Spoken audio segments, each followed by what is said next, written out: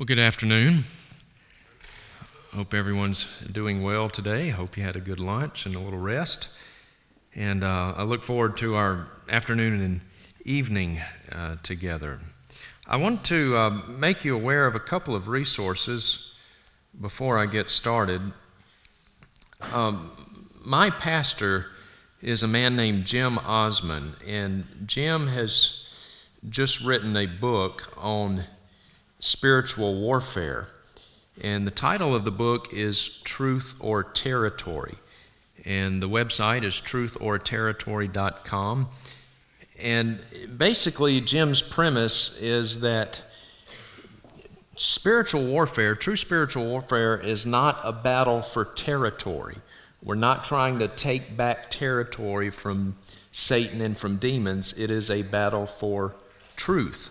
2 Corinthians chapter 10, 3 through 5, the Apostle Paul says, For though we walk in the flesh, we do not war according to the flesh. For the weapons of our warfare are not of the flesh, but divinely powerful for the destruction of fortresses. Now, fortresses, what is he talking about? We go into satanic fortresses and try to physically tear them down, or no, he says we are destroying speculations and every lofty thing raised up against the knowledge of God. Unfortunately, the vast majority of professing Christians today have this idea that spiritual warfare is almost like hand to hand combat with Satan and demons. And we've got to bind Satan. You know, we got to tie Satan up and all these people going around binding Satan, well, somebody sure keeps letting him back out. You know, they, they don't tie him up very tight because he's, the, the, the Bible says that he prowls about like a roaring lion seeking those whom he may devour. So, you know, I, I almost get amused at all these people going around. Know, you have it a lot in this Emmy church here, you know, binding Satan. Well, they don't tie him very tight because he keeps getting back out. And so, but all these people going around binding Satan, rebuking Satan, um, uh, praying hedges of protection, uh, all of these things, you know, it, this, it, it's, it's, he takes all of these very popular misconceptions about spiritual warfare, generational curses. You know, if you've got sin, you've got something going on in your life, it's because of a generational curse, and you've got to pray this prayer to break that curse and all that. He takes all of this stuff, all of this nonsense, and just dismantles it from Scripture. Dismantles it from Scripture. And he says uh, that, that true spiritual warfare is not a battle for territory, not trying to take back territory, it's a battle for truth. We are battling for men's minds. Uh, we are not battling demons and Satan and, and all this kind of stuff. So it just breaks through a lot of the nonsense and really simplifies uh, what true spiritual warfare is about. But it's a very, very good book. He asked me to write the foreword to it, and uh, but it's a, it's an excellent book. The website is truthorterritory.com. Truthorterritory.com. Unfortunately, it's not available in paperback, you know, or hardcover. It's only available on Kindle. So if you have a Kindle or you have a little Kindle app on your smartphone, it's really easy to get it. Just download it, and there it is. But uh, very, very good book. And also, uh, ladies, this is for you. Um, if you are looking for some good Bible study material, uh, some good books to read, I would commend to you a lady named Susan Heck, H E C K. Susan is the wife of Doug Heck, and Doug was our pastor when Kathy and I lived in Oklahoma up until a few months ago in Tulsa, Oklahoma. And uh, uh, Grace Community Church there in Tulsa, very, very good church, very doctrinally sound. But uh, Doug's wife, Susan, uh, writes books for ladies, Bible studies for ladies, and unlike some of the other popular female Bible teachers out there, Susan stays within the biblical parameters for the role of a woman, and she teaches only women. She does not teach men. You know, for example, Joyce Meyer. Uh, Joyce Meyer, the first problem with Joyce Meyer is that she is a she, and she is a she who teaches he's. So she, she teaches men, and yet that goes against biblical parameters for the roles of men and women. Uh, men and women obviously are of equal value before God, no question about that. But we do have different roles. We do have different roles. God's Word has given us different roles. And so, unlike Beth Moore, uh, unlike Joyce Meyer, unlike Heidi Baker, some of these others, uh, Susan stays within the biblical parameters for the roles of a woman, and she teaches only women. Susan has 24 books of the Bible committed to memory. Not verses, not chapters, books of the Bible memorized. So she is a, uh, a force with which to be reckoned. She really knows her stuff. And if you've if you've done a Joyce Meyer Bible study or a Beth Moore Bible study, if you go from one of those to one of Susan's Bible studies, it will be like going from uh, potted meat. I don't know if you have spam here, in Norway. Do you have spam? Just potted meat. It'll be like going from that to um, sirloin steak. It, so it'll be, you'll be able to tell. Big difference, big difference. So um, uh, Susan and her husband Doug are dear, dear friends of ours, and uh, we just think the world of them. Okay.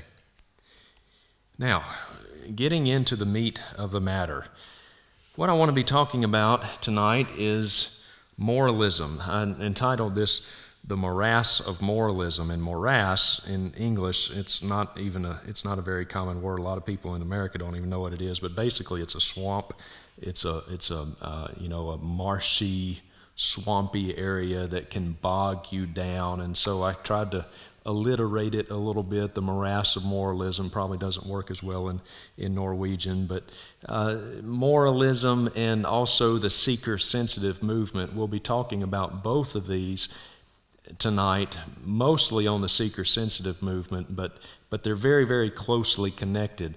And basically, what moralism is, is um, it is it is religion.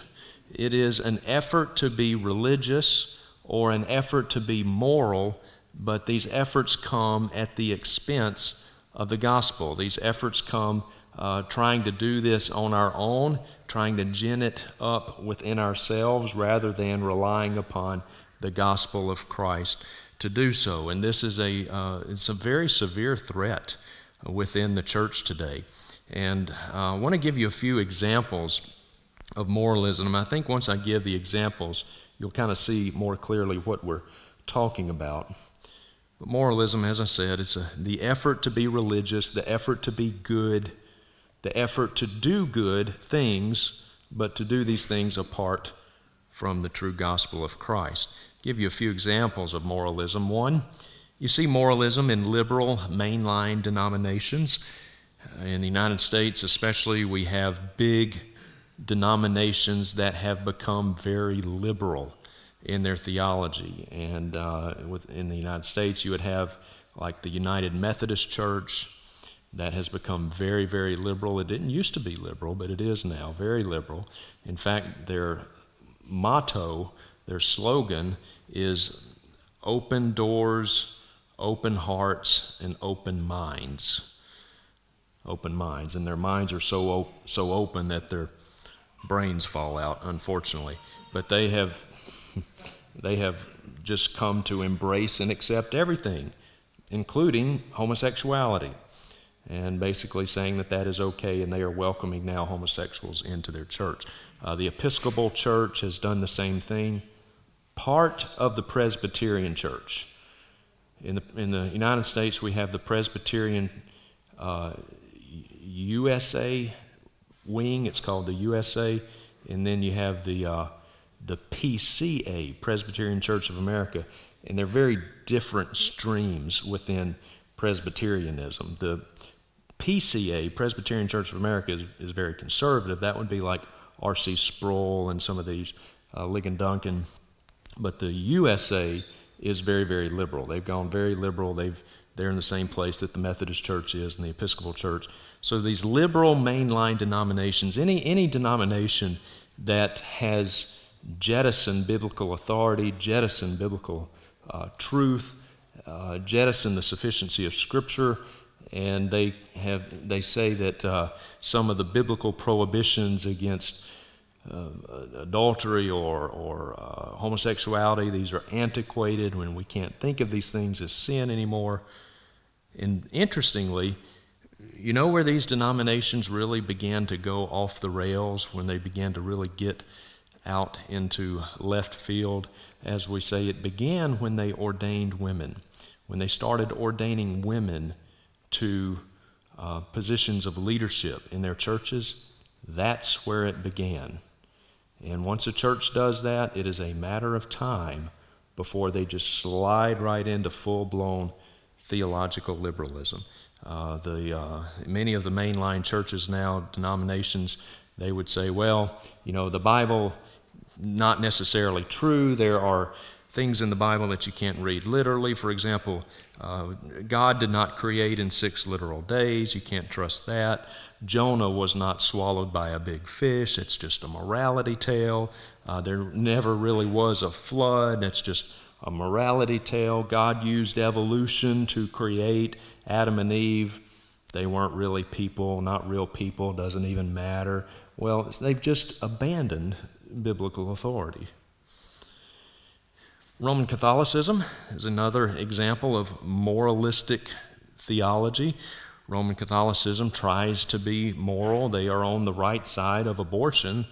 Uh, thankfully, I'm thankful in and of itself for that. Uh, and they try to do good, quote unquote, do good in the world by feeding the hungry and helping the poor and stuff like this, uh, caring for the sick, but they do so, of course, at the expense of the gospel. They do not preach the true gospel, and this is a works salvation for them. As long as we do enough good deeds, and God will accept us. Same thing in the liberal mainline denominations. The emergent church is another example of moralism. The emergent church, emergent movement, is led by people such as Brian McLaren uh, Doug Pagitt, Rob Bell has made big news in the last few years because Rob Bell came out and uh, he basically said that hell, a literal hell, does not exist and everybody goes to heaven. He wrote this book entitled Love Wins. And so the emergent church says basically that there is no absolute truth. There is no absolute truth. And even if there is, we can't know what it is. And so uh, we're not going to have any emphasis on doctrine. We're not going to talk about doctrine. We're not going to talk about theology. We're just going to have conversations. That's their big word. We want to have conversations about God, but they abandon biblical authority. Another example of this is what we would call in the States the religious right movement. And basically, the religious right are it's, it's a millions of professing Christians, but their emphasis is not on the Bible, their emphasis is not on doctrine, it's not on theology, it's not on the saving gospel of Christ. Their emphasis is getting involved in politics, trying to get their favorite politicians elected to the House of Representatives or the Senate or the White House. And, you know, we're trying to get Barack Obama out of the White House and you know, I hope he is soon out of the White House. But we're trying to try to affect moralism, trying to bring about morality through the political system rather than through the gospel. And also the seeker sensitive movement. This is what we'll be talking about mostly tonight. The seeker sensitive movement. These are churches that claim to be evangelical claim to believe in the Bible, they claim that, but yet you can tell by how they preach and how they do church that they do not really believe in the authority of Scripture. They do not really believe in the sufficiency of Scripture because what they try to do is that they try to make their churches look more like the world. And the theory is is if we can just make church fun, if we can make church entertaining, you know, we'll, we'll, we'll use a rock band. We'll get a rock band and we'll use some worldly music and we'll have lots of lights and maybe some fog machines, you know, and we'll have all these different little groups and, and uh, different programs, and we'll try to meet people's felt needs, and we'll let them know that we're really sensitive to them. You know, we want to help them to have a, a better life. We want to teach them how to be a better mom or a better dad, or, or we'll teach them how to manage their finances and, you know, all these little life issues, and we'll teach them how to just be better at life. And we'll make church relevant, they say. And so we try to meet people's felt needs. But they do so, again, at the expense of the gospel. There is no emphasis on doctrine, no emphasis on theology, just trying to make church entertaining and fun. And we, we attract the world. You know, when we make church fun, we'll attract the world, draw people in, and then hopefully somewhere along the way they might accidentally hear just enough about Jesus here and there to somehow become a Christian. But we don't want to talk about sin. You know, we don't want to talk about repentance because that would step on people's toes. So we don't want to do that. That would make them uncomfortable. And the last thing you want to do is make somebody uncomfortable because that's not a good way to grow your church. And so, this seeker sensitive movement. And they're very busy about morality. You know, they have a lot of programs to do good things, but again, it comes at the expense of the gospel. Now, before we go any further, let me affirm the need for morality. I am not against morality. We should affirm that. Any Bible believing Christian obviously should affirm morality. Uh, I want to see abortion come to an end. Abortion is the murder of unborn children, and I want to see that come to an end. And I am against homosexual marriage. By the way, there really is no such thing as homosexual marriage. That's what we call it. But marriage is defined by God, and marriage is the union of one man and one woman. So we may call it homosexual marriage or gay marriage legally, but in God's eyes, there is no such thing. But now we're, that's what we're doing through the, through the uh, court system and politics. We're legalizing homosexual marriage. And so I would take a back seat on these things to no one. I affirm the need for morality. The question, though, is what are the solutions? Undoubtedly, our societies are becoming more and more immoral. So we're, we're not de- decrying the need for morality, we affirm that. And of course, society is decaying. But the question is, is how do we fix it? What is the solution? Well, there's two solutions. One, moralism, the seeker sensitive approach to doing church, and the other is the gospel. Is the gospel. And I would argue that the only true solution for the societal decay which we see is indeed the gospel. But I want us to talk some about the dangers of moralism. The dangers of moralism. One of the dangers of moralism is that it offers a false sense of security. It offers a false sense of security. And basically, it's this, and many in the United States believe that well, if we can just reclaim America, if we can make our society more moral, if we will outlaw abortion and outlaw homosexual marriage and do these things, it will, we will become a more moral nation and God will not judge us. That will avert the judgment of God. And they use this as their support from Scripture, 2 Chronicles 7.14, which says, if my people who are called by my name humble themselves, pray, and seek my face, and turn from their wicked ways, then I will hear from heaven, will forgive their sin, and will heal their land. And a lot of politicians in the United States will even quote this verse and saying that if we'll just do this, God will bless America, or God will bless Norway, or Finland, or Nigeria, or, you know, fill in the blank, whatever country in which you may be living. A lot of people read their own country into Second Chronicles chapter 7, 14. If we will just become more moral, God will not judge us. But let's look at the context of this. The context of this is Solomon's prayer, and specifically the temple. The temple. In Second Chronicles chapter 6, Solomon prays a prayer. And in his prayer, Solomon mentions this place or this house 13 different times. He's not even talking about the whole nation of Israel, he's talking about the temple. And then God answers Solomon's prayer in Second Chronicles chapter 7 And in, in God's answer to Solomon's prayer, God mentions this place or this house six times. So the context of this is not the United States of America or Norway or Belgium or Philippines or whatever. It's not the context. That's not the context. And, dear ones, we must remember that Israel, Israel, is the only nation that has ever been or ever will be in a covenant relationship with God. Only Israel has ever been in a covenant relationship with God.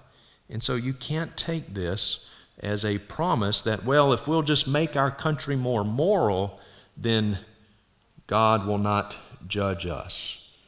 It offers a false sense of security. Dear friends, there's a big difference between a moral nation and a Christian nation. Big difference between a moral nation and a Christian nation. I could take you to several countries right now that outlaw abortion and homosexual marriage. Several of them. You know where they are? They're in the Middle East. Syria, Iran. Those sound like moral nations to you? It's a big difference between having a moral nation and having a Christian nation. Big difference. Big difference. The United States of America is not a Christian nation. It is not a Christian nation. In our abortion mills, Planned Parenthood, we kill every day in the United States of America 3,288 unborn children every single day. And we have the audacity to say, God bless America? Really? 3,288 unborn children every day. That's not a Christian country. 75% of Americans claim to be Christian. But, dear friends, if they really were, if 75% of Americans were really Bible believing, born again Christians, we wouldn't be having these conversations about abortion, homosexual marriage. It wouldn't be up for debate. It would be unthinkable. It's not a Christian nation. Also, moralism it offers a false sense of security, but it also misunderstands the judgment of God. It misunderstands the judgment of God. Uh, have you ever heard somebody say, hear this in the States, ever heard somebody say something like this? If God doesn't judge America, or if God doesn't judge Norway or whatever country, if God doesn't judge us, he will have to apologize to Sodom and Gomorrah. You ever heard something like that? Used to hear it a lot. And uh, the, the thinking is, of course, Sodom and Gomorrah tolerated and celebrated homosexuality. What did God do? He destroyed them. And so people say, well, if, if, if God doesn't judge America, in other words, we've gotten so bad, if God doesn't judge America, uh, God will have to apologize to Sodom and Gomorrah. But that misunderstands the judgment of God, misunderstands the judgment of God. I want to show you this out of Romans 1. This is very interesting. Romans chapter 1 and verse 18. The Apostle Paul says, For the wrath of God is revealed from heaven against all ungodliness and unrighteousness of men who suppress the truth in unrighteousness, because that which is known about God is evident within them, for God made it evident to them. Why is the wrath of God being revealed? Because men are homosexuals, because uh, we have abortion, uh, because we have pornography. Is that why God is God's wrath is being revealed? No, his wrath is being revealed because man has suppressed the truth in unrighteousness. It's not that they don't know the truth, they are suppressing it, they're holding it down. They're suppressing the truth. And look at this, verse 26. For this reason, God gave them over to degrading passions, for their women exchanged the natural function for that which is unnatural. In the same way, also the men abandoned the natural function of the woman and burned in their desire toward one another, men with men, committing indecent acts and receiving in their own persons the due penalty of their error. A lot of people think that God will judge nations because of homosexual marriage and because of these other societal ills. No, no. That is the judgment of God. That is the judgment of God. It's not that God will judge these things, these things are His judgment. When God gives people over to a depraved mind, what do they do? They do these things. They engage in homosexuality. They kill their unborn children because these things are all results of a depraved mind. God has given them over. These are the judgments of God. They don't bring His judgment, they are His judgment. It's not a matter of if God will judge the United States of America, it's not a matter of when. He already is. He already is. We are already under the judgment of God. It's not a matter of when He'll do it, we already are. We already are. So it misunderstands God's judgment. Also, it misses the mission of the church. It misses the mission of the church. When people busy themselves with trying to improve society through politics, through writing their congressmen, through trying to get certain officials elected, and friends, hear me, I'm not against voting. You know, God and His sovereignty has allowed us that avenue to choose our leaders. God and His sovereignty has given us the avenue of voting, the privilege of voting. And so I vote. I never miss an opportunity to vote. I vote. I know what's going on.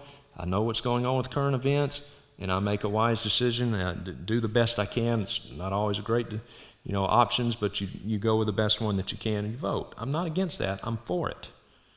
But when we, cons- when our lives and our time and our energy is consumed with politics and all this stuff, it misses the mission of the church. It misses the mission of the church. 1 Timothy chapter 4, the Apostle Paul says, Pay, pay close attention to yourself and to your what? To your doctrine. Persevere in these things, for as you do this, you will ensure salvation both for yourself and for those who hear you. Pay close attention to what's going on in the world. Pay, pay close attention to who's being elected to Congress or who's, you know, in, in politics, who's in public office. Pay, no. Pay close attention to yourself and to your doctrine, to your doctrine, to sound teaching. Jesus' own words, Matthew 28, the Great Commission Go therefore and make disciples of all the nations, baptizing them in the name of the Father and the Son and the Holy Spirit, teaching them to observe all that I commanded you. In other words, pay close attention to your doctrine. And lo, I am with you always, even to the end of the age. Jesus did not give his church a political commission. He gave his church a commission to go out and to preach the gospel, not to right societal ills, not to just uh, do good things in society, not social justice. Jesus was not concerned about social justice, he was concerned about the gospel. He was concerned about the gospel. show you something very interesting. Moralism usurps and it distorts God's design for government. Distorts God's design for government.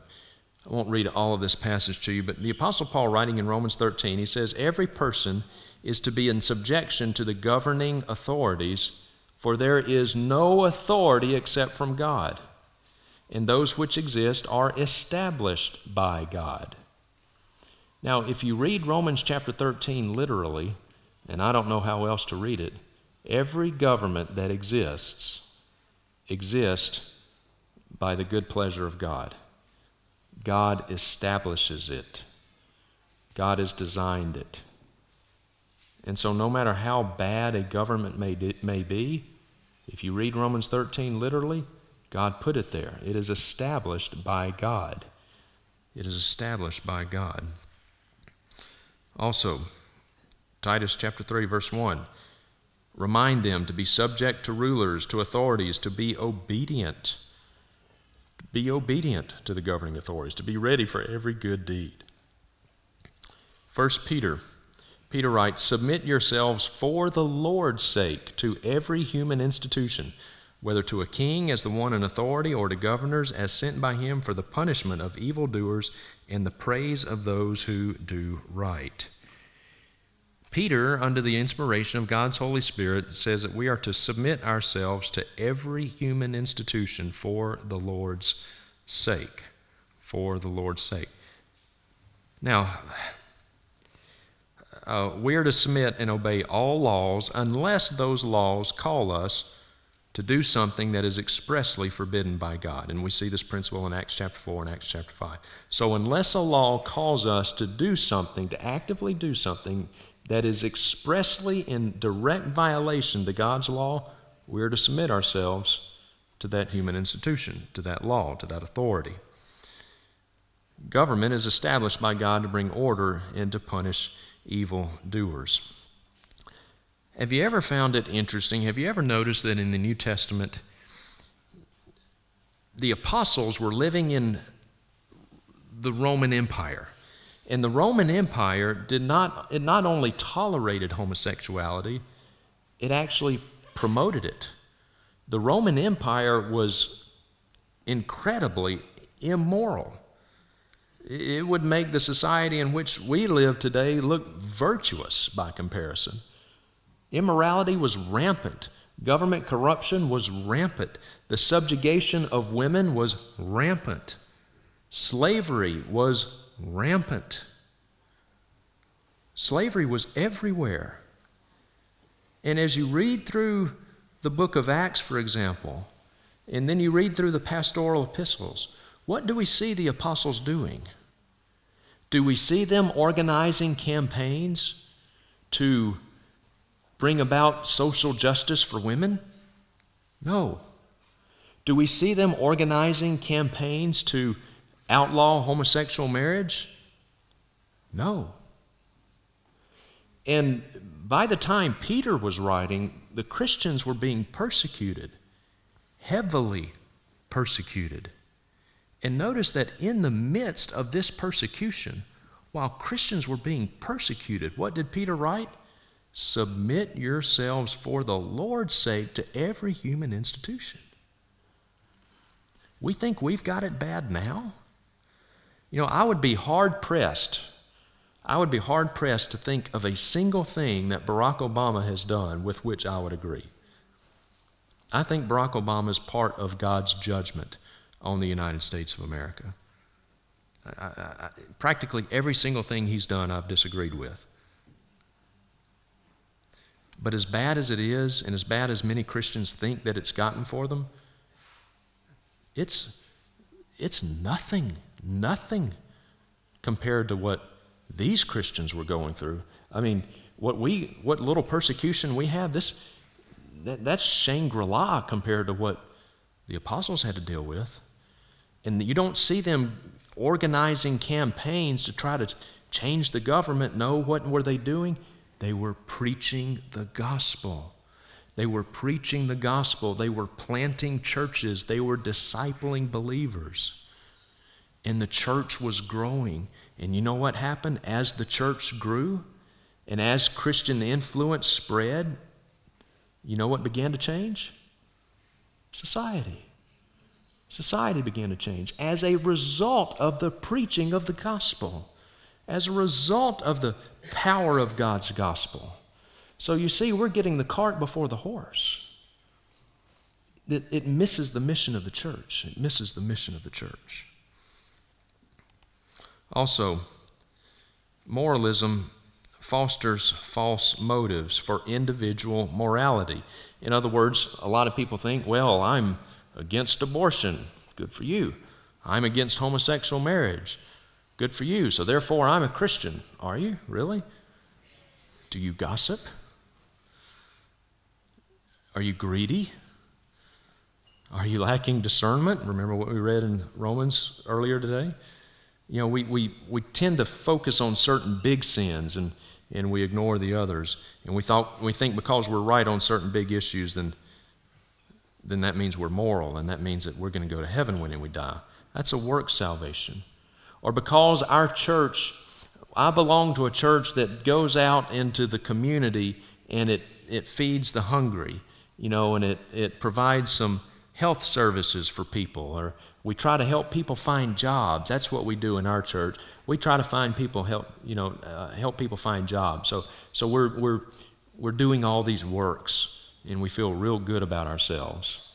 And yet the Bible says that our works are as filthy rags before a holy God. Filthy rags. Dear ones, I am not against doing good things, but these things should be fruits of our salvation. They should be results of our conversion, fruits of it, not efforts to try to gain salvation. And a national morality. We want morality so we can have a better country. And yet, in Ephesians 1, I want to show you some, show you a few excerpts from Ephesians chapter 1. The Apostle Paul is talking about our conversion. He's talking about our salvation, the salvation that is offered through faith alone in Christ alone. And the Apostle Paul says that we are saved.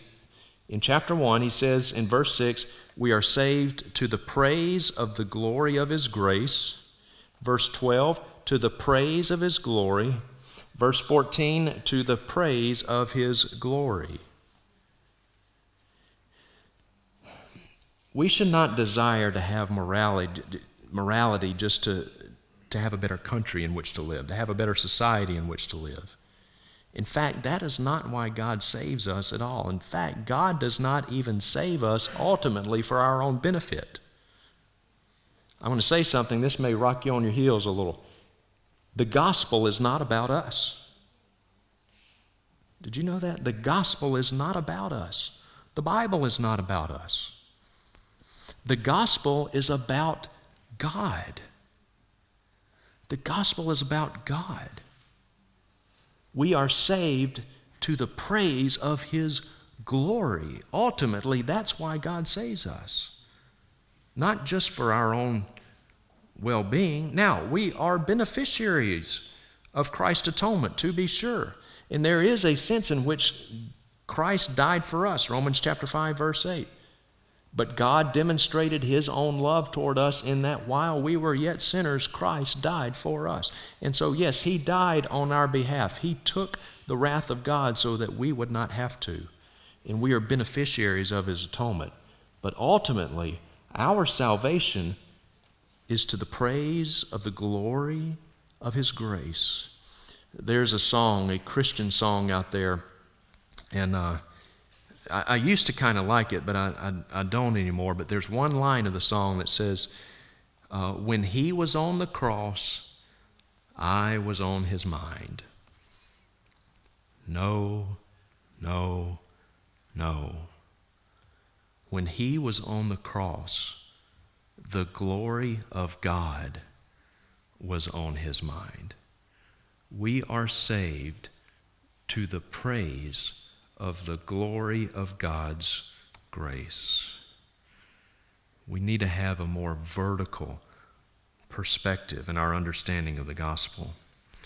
Also, morality denigrates church discipline. It denigrates church discipline. Peter says, For it is time for judgment to begin with the household of God. Paul, writing in 1 Corinthians, I wrote to you not to associate with any so called brother if he is an immoral person, or covetous, or an idolater, or a reviler, or a drunkard, or a swindler, not even to eat with such a one. For what have I do to, do to do with judging outsiders? Do you not judge those who are within the church? But those who are outside, God judges. Remove the wicked man from among yourself. You know, we get so self righteous sometimes, and we look down our noses at lost people acting like lost people. You know, we, we're so self righteous. We think we're so holy because we happen to be on the right side of abortion and, and, and homosexual marriage and these things, and yet we've got gross sin in our own lives. We lie, we're greedy, we engage in heterosexual sin, adultery, looking at pornography. Oh, that's, that's that's not so bad as homosexuality, really? Really? We get so self righteous and we judge outsiders and we look down on them. Why are we surprised when, when lost people act like lost people? You know, people are not homosexual because they're lost. I mean, excuse me, people are, actually, they are. People are not lost because they're homosexual. People are homosexual because they are lost. And they're doing what a depraved mind does. But we're busy judging outsiders, and yet, don't you think it's about time we look inside? Don't you think it's about time we look inside the church? Why are we judging outsiders? Why are we judging lost people for doing what comes naturally to them? We ought to start looking inside the church. It is time for judgment to begin within the household of God.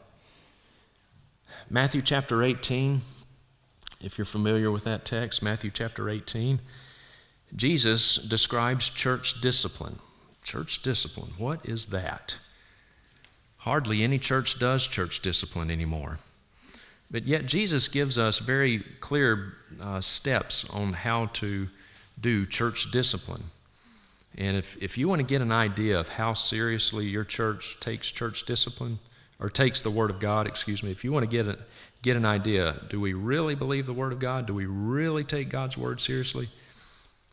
Ask your church leaders, what do you do with Matthew chapter 18? Because Jesus gives us, He says, if, if, if there is a sinning brother, He says, go to that brother. If you know a Christian, a professing Christian who is sinning, you go to him privately and you confront him in your sin, Jesus says, in his sin. And if he repents, Jesus says, you have won your brother. In other words, if you go to a Christian, professing Christian that is in some sin and you know about it, you go to him and you confront him in his sin. And if he hears you, he repents, you have won your brother. Wonderful. Praise the Lord. Don't say anything else about it. Don't go back to the Sunday school class next Sunday morning and say, "Oh, good news! Guess what? I, I went to uh, I, I went to Billy Bob. I confronted him in his sin, and he repented." No, it's done, covered. Don't talk about it anymore. You have won your brother. But then Jesus says, if he does not hear you, take one or two more with you and go back to him. And so you take one or two more with you and you go back to this sinning Christian, professing Christian, and you confront him in his, in sin. And if he hears you, if he repents, wonderful, praise the Lord. You have won your brother. Don't talk about it anymore. It's done. But then Jesus says, if he does not hear you, if he does not repent, then you go and you tell it to the church. You tell it to the church. Oh, you mean get up on a Sunday morning and tell the whole church what, what he's doing? That's right. That's right. That's what Jesus says. Matthew chapter 18, very, very clear. Read it for yourself. And Jesus says if he refuses to hear even the church, then you put him outside of the church. You treat him as a Gentile and a tax collector. In other words, you, you kick him out of the church. Oh, we're supposed to kick somebody? That's right. That's right. That's what Jesus says. Church discipline is a good thing. It's designed to bring a sinning Christian to repentance. But if that, if that professing Christian does not repent after the first and after the second and after the third steps are followed, you know what you know about that person? You know then that that person is not a Christian. Because a genuine Christian will repent. When these steps are followed, church discipline, a genuine Christian will repent. If he refuses to hear even the church, then you realize I'm dealing with a false convert. This is not a genuine Christian, and you kick him out of the church. We get real busy judging the world, judging the outsiders. We ought to start looking inside the church. It's time for judgment to begin with the household of God.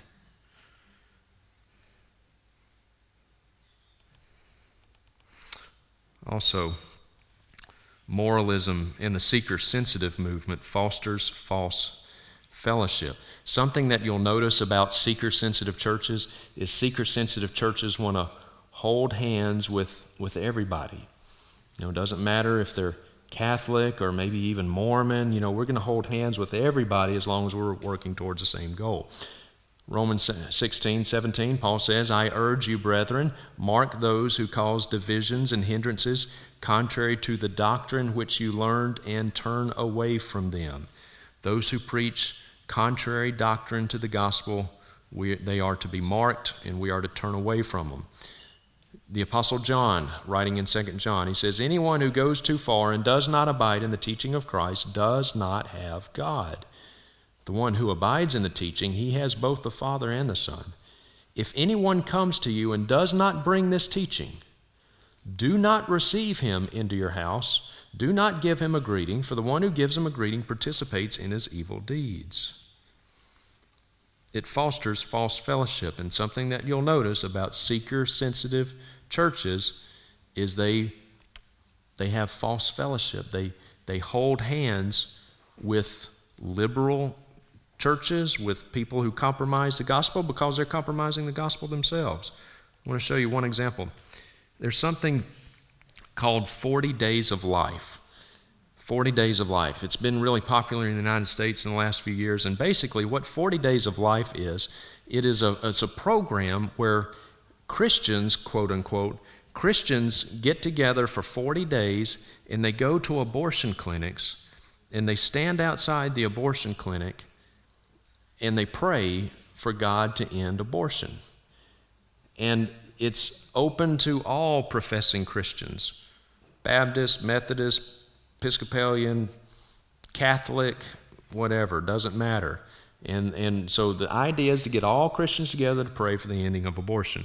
A good goal in and of itself. As I said, I take a back seat to no one in wanting to see abortion come to an end. However, I will not do so at the expense of the gospel. 40 Days for Life is a Catholic begun organization. Father Frank Pavone endorses it, so does the quote unquote Holy Father, Pope Francis. Much is made about how humble Pope Francis supposedly is. Oh, he's such a humble man. He's called the Holy Father. That's not humble. What's humble about that? His holiness? His holiness? Do you think I would be very humble if I came up and introduced myself as His holiness?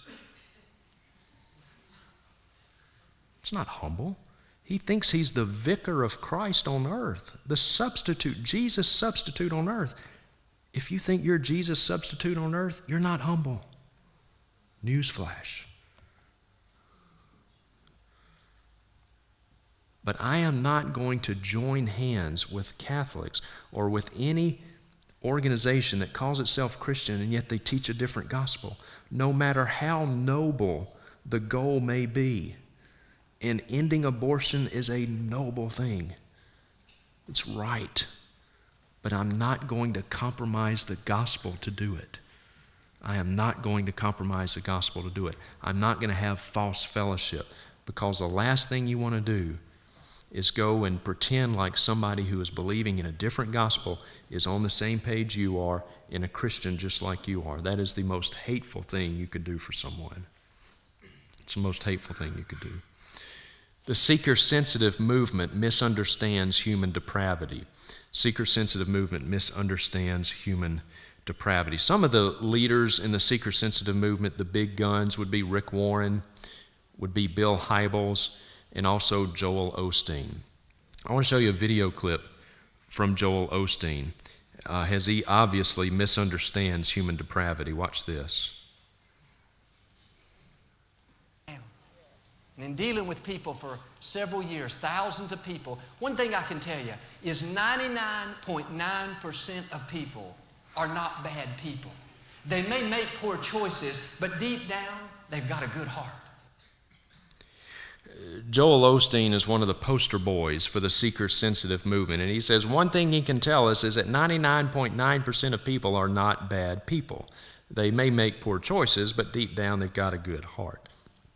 Dear friends, 99.9% of people are not good people. 100% of people are bad people. 100%. You're a bad person. You are. You're a bad person. So am I. So am I. Romans chapter 3 There is none righteous, not even one. There is none who does good, no, not one. A lot of us like to think of ourselves as good people because what we like to do is we like to compare ourselves to other people. And if I were to compare myself to Saddam Hussein or Osama bin Laden, Adolf Hitler, I'm a pretty good guy. But God does not evaluate our goodness by comparing us to other people. He evaluates our goodness by comparing us to Himself. And none of us compared to God are good. We have all broken God's laws. All like sheep have gone astray. We are all sinners.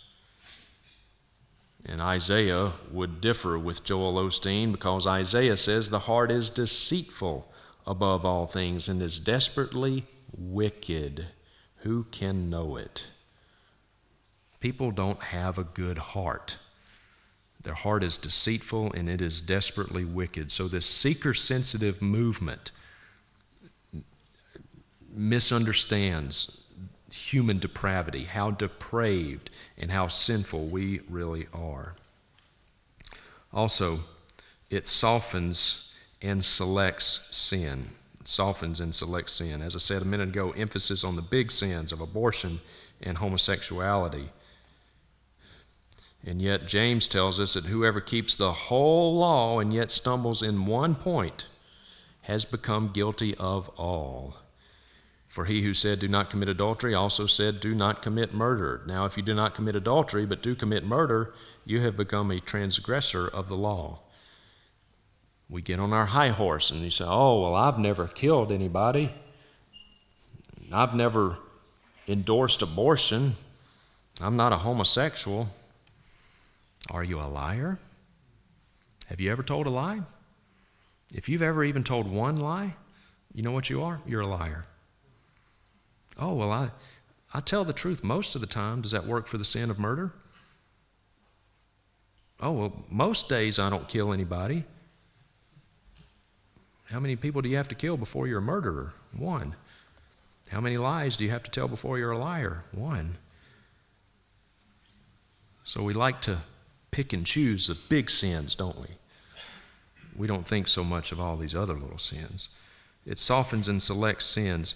And if you soften sin, if you diminish sin, soften it, and pretend like it's no big deal, then what you're doing is you are abandoning the one thing that God's Word has said is perfect for converting people the preaching of the law. Psalm 19, verse 7 The law of the Lord is perfect for the conversion of the soul. The Apostle Paul said, I would not know sin but by the law, by the law of God. Paul said, if it were not, if it were not for the law of God, I wouldn't even know what sin is.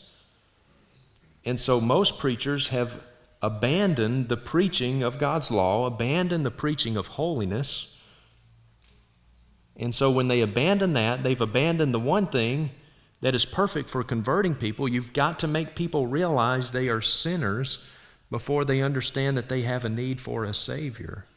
And if you abandon the preaching of God's holiness, you've got to come up with some other reason to get people to come to Christ. Watch this video clip of the late Paul Crouch. Paul Crouch died actually not long after this was filmed, but watch this from Paul Crouch, president of TBN, former president of TBN.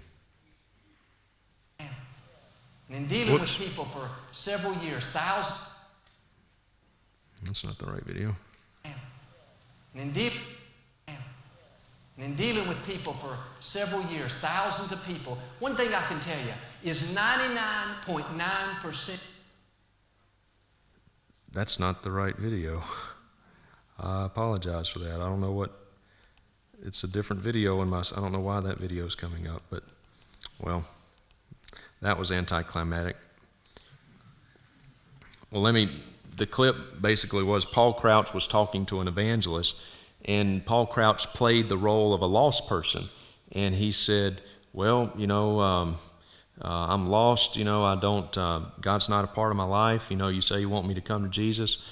Uh, why do you want me to do that? And the quote unquote evangelist said, well, if you'll just pray this prayer, if you'll just pray this prayer, ask Jesus into your heart, God will make your life better.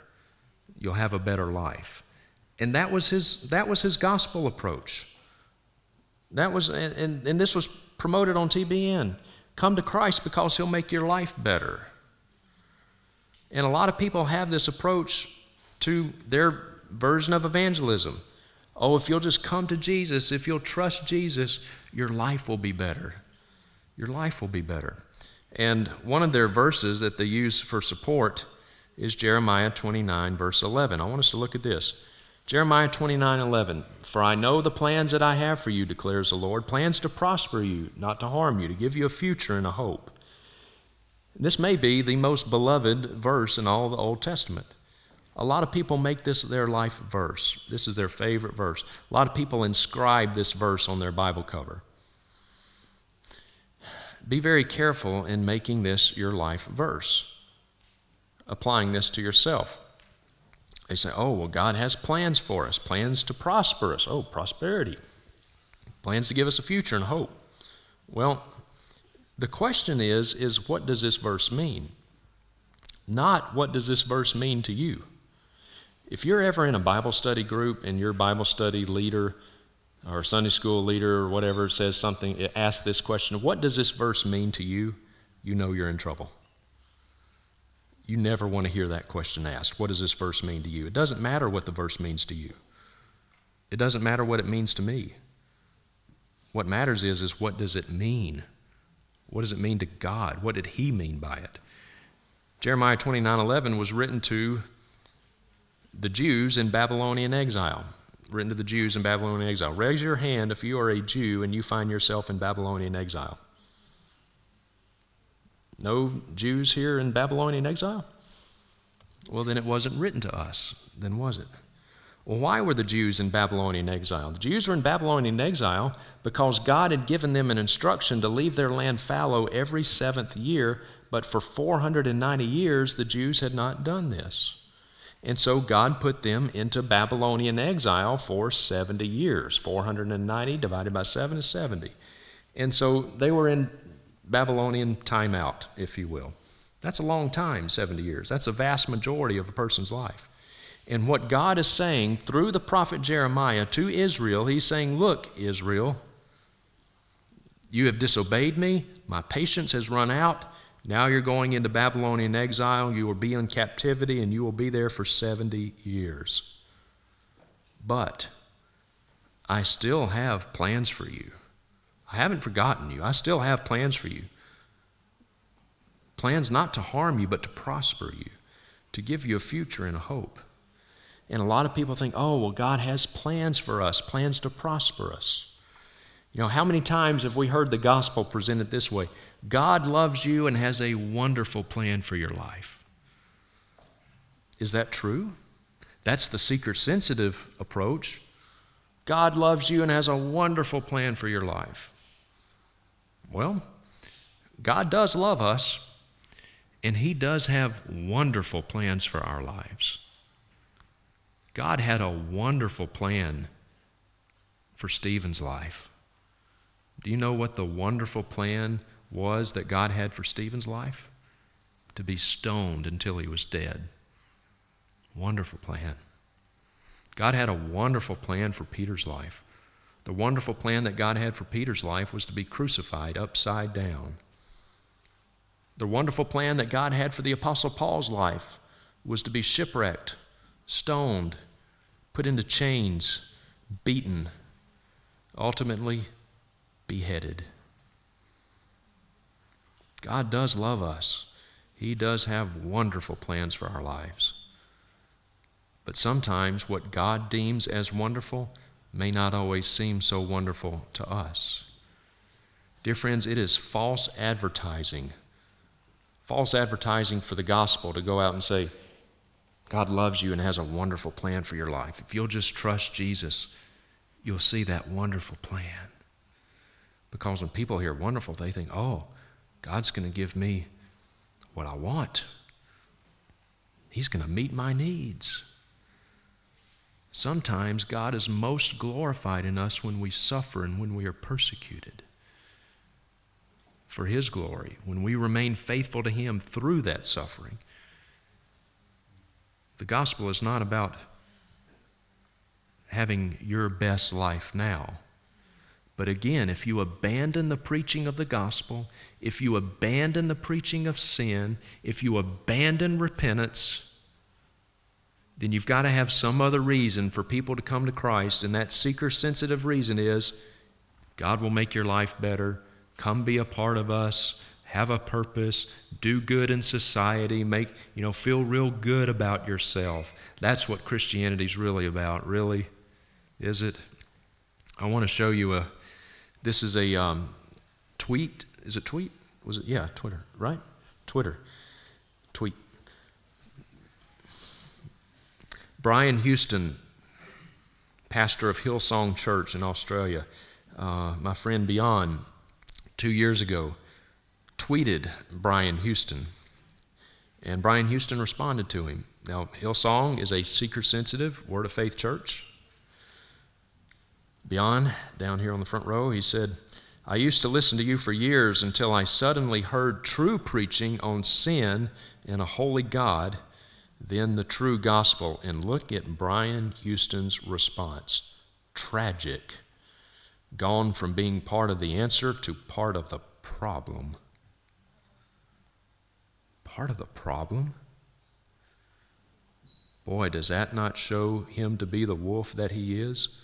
So, preaching about sin and the need for repentance, preaching on the holiness of God, and only when these things are preached, can we really understand truly how beautiful and how kind and how gracious our God really is?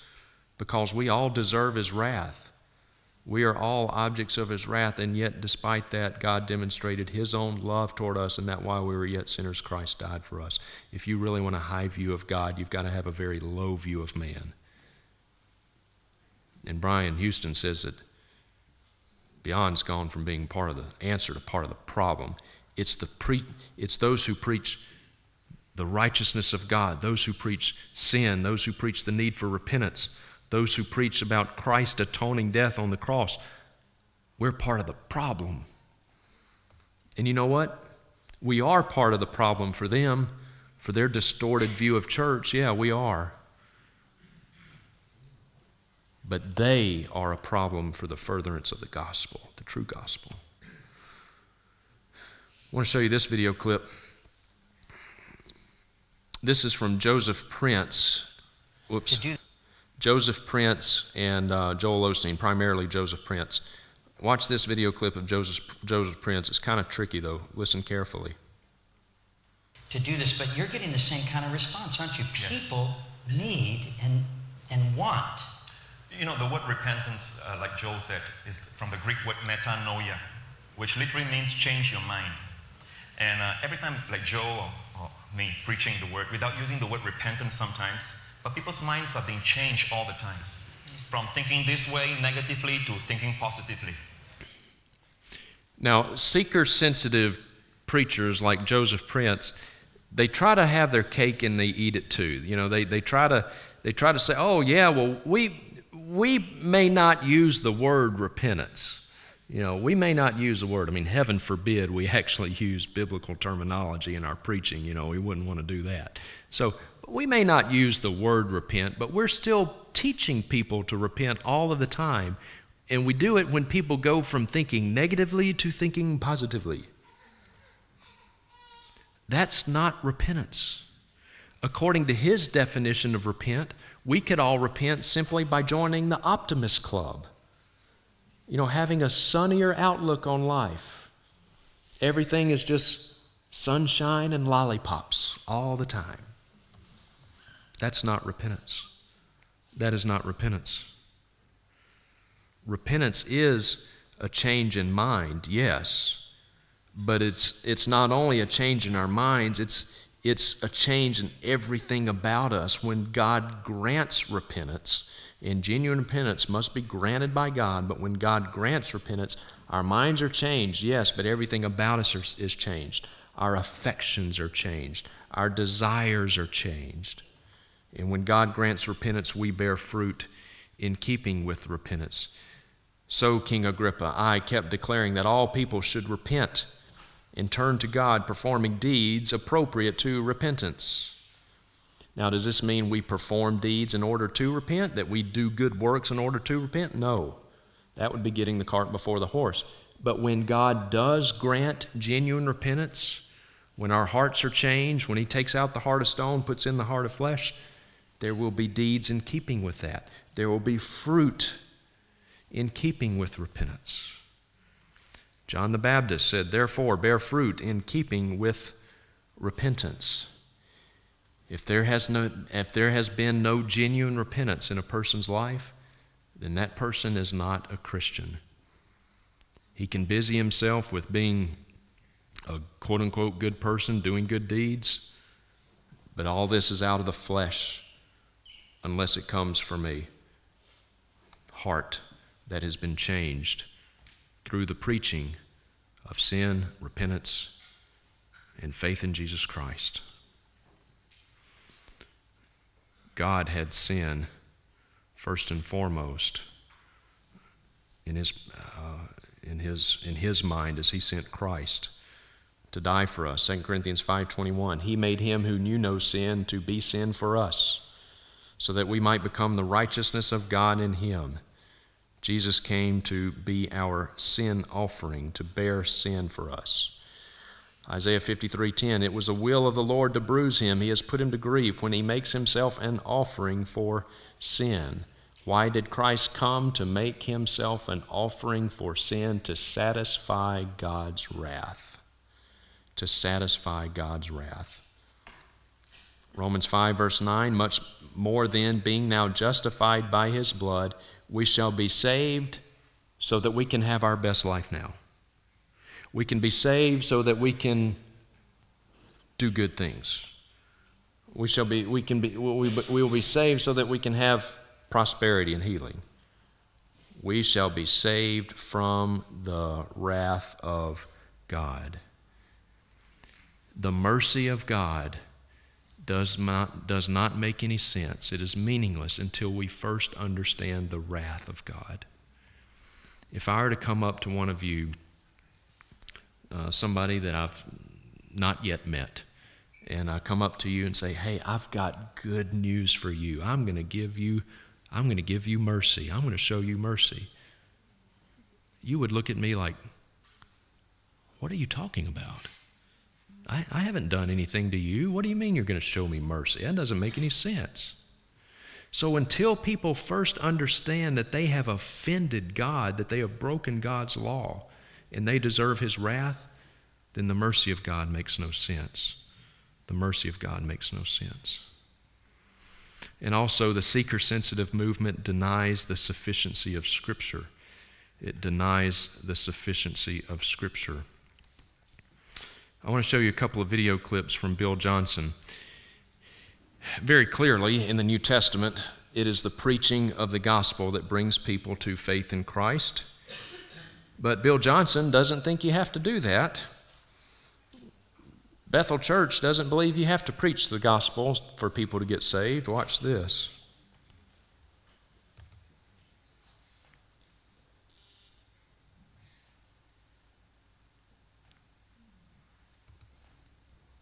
And uh, it would be about 15 or maybe 14 years ago, somewhere in that area, 14 years ago probably, the feathers started just appearing and falling in meetings. And then they started falling in our homes and in restaurants and things like that, just unusual things. So, you know, there are signs that make you wonder. There are, there, people say, where's that in the Bible? Well, he said he'd cover you with his feathers. So it's the real power of God is when feathers Angel feathers fall out of the sky. Watch this from Bill Johnson. An acquaintances with the Lord now, but sitting on a plane, gold just started manifesting, literally just started falling. People could see it falling in there. And the stewardess came over, stunned. She ended up getting saved. People all around him started getting saved because just he's just sitting there. and the Lord would appear upon him. And people would see it, and they would get saved. Just this gold would start manifesting, start falling. So he talks about this person on an airplane that supposedly gets gold dust on him that just comes out of heaven, I guess, and people get saved. He said people get saved just by seeing that gold dust. Really? People get saved? Where's the preaching of sin? Where's the preaching of repentance? Where is the preaching of Christ and Him crucified? You see, it, it, it, diminishes the sufficiency of Scripture and denies the power of the gospel. So, whether we're talking about, you know, truly seeker sensitive churches like Joel Osteen and Rick Warren and these, these, all these churches out there that just want to do good in society and they do so at the expense of the gospel, or whether we're talking about Bill Johnson, which is just a more uh, signs and wonders version of seeker sensitive, they think people get saved just by seeing gold dust. There's no preaching of the gospel here. This is a different gospel. This is not a real church. That's not a real church. That's a that's a goat farm. Very few sheep in there. And what few sheep there are in there, it won't take very long before God is going to get them out of there. These places aren't full of sheep, they're full of goats. No preaching of the gospel. No preaching of the gospel. And, dear friends, it does not matter. You can have a completely moral society. You can outlaw abortion and homosexual marriage, and, and you can make a utopia. But apart from the gospel of Christ, then all we're doing is making a better place from which to jump into hell. The only solution is the gospel. As I conclude, historically, historically the church has been its weakest when it busies itself with politics or when it busies itself with just morality, being good, quote unquote, doing good things. Anytime the church does that, it is at its, at its weakest. And what do we see today? Most churches trying to meet people's felt needs, trying to make church fun and entertaining, doing a few superficial, shallow good things, compromising the gospel. And what do we see? We see a weak church. The church has always been its strongest when it preaches the gospel, when it does what the apostles did preaches the gospel. In theological, theologically speaking, it is only the power of God that can change people. The power of God is the gospel. The power of God is the gospel. Not signs and wonders, not seeker sensitive church services, not in making people entertained or meeting their felt needs. The power of God is the gospel. You want to see the power of God unleashed? It's not in signs and wonders. The power of God is the gospel.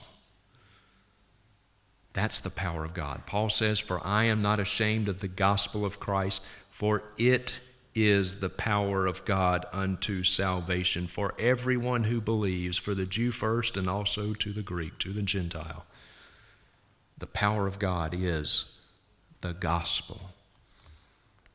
Let's not trade in the big guns of the gospel for little spitballs of seeker sensitive, weak, effeminate churches or just trying to change society just to have a better place to live in. Those are spitballs. Let's stick to the big guns of the gospel. That is the power of God unto salvation. Let's close in a word of prayer.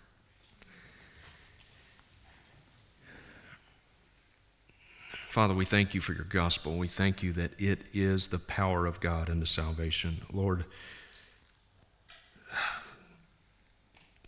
forgive us for becoming so enraptured with these sidebar issues, with these distractions, these things that only distract from the gospel. Uh, Lord, may we return to your gospel, return to the sufficiency of your word for us and go out with boldness, knowing that we hold in our hands, we have in your word the most powerful evangelistic tool of all time. It was the tool of the apostles, it was the tool of Christ Himself, your word, your gospel. May we have confidence in that. Lord, we love you and we praise you. These things we ask in Christ's name. Amen.